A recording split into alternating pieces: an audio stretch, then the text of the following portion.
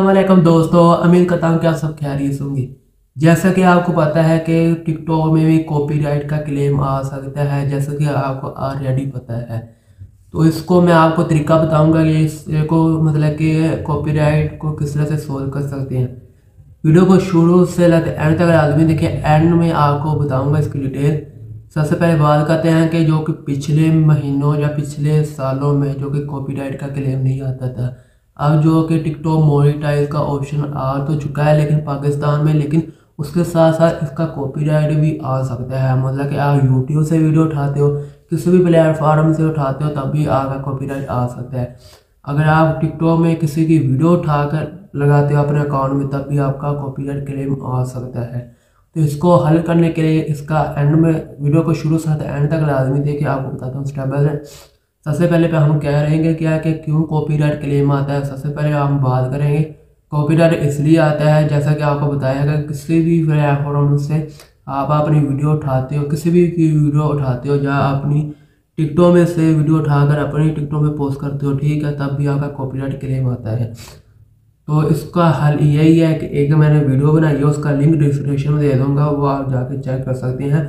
उसमें पूरी डिटेल बताई है कि आपने कौन सी वीडियो उठानी है और कौन सी वीडियो आपने यूज़ करनी है, ठीक है?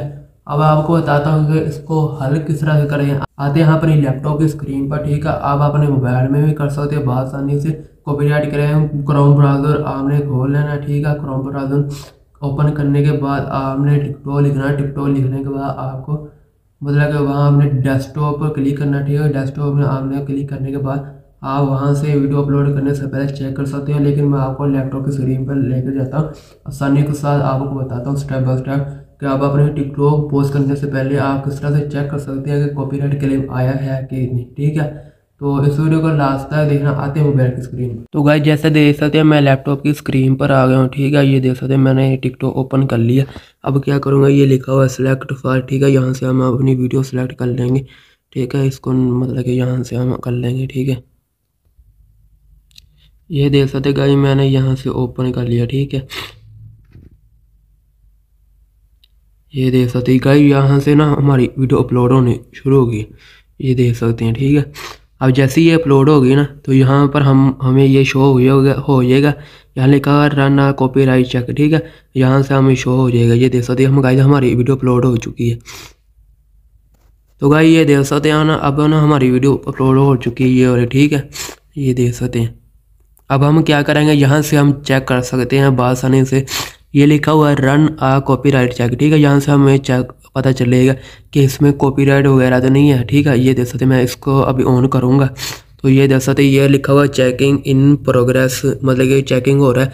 अब इसके बाद हमें पता चलेगा कि ये हमें बता देगा कि ये देख सकते ये अब इसने बता दिया कि नो इशू डिटेक्ट मतलब इसमें कोई कॉपीराइट वगैरह नहीं है, ठीक है? तो यहाँ से हम आसानी से चेक कर सकते हैं, ठीक है? तो ये थी आज की वीडियो। उम्मीद करता हूँ कि आपको ये पसंद होगी। इस तरह से आप चेक कर सकते हो बहुत आसानी से, ठीक है?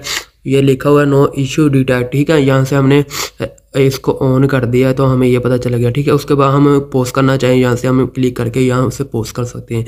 तो उम्मीद करता हूँ कि आपको ये वीडियो अच्छी लगी होगी, पता चल गया किस तरह से आप कॉपी वगैरह चेक कर सकते हैं।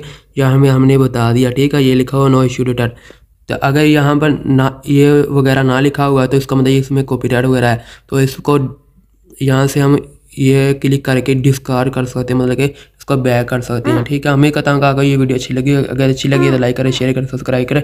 फिर नेक्स्ट वीडियो में तब तक के लिए अल्लाह हाफि